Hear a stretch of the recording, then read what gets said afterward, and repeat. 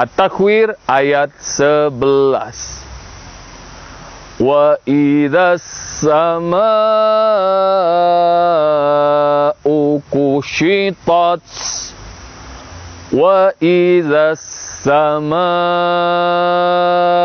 apabila langit kushitat dihapus atau dilenyapkan. Hapus. Langit akan lenyap akan hilang di hari kiamat nanti. Wa idza samaa'u kushitat. Wa idza samaa'u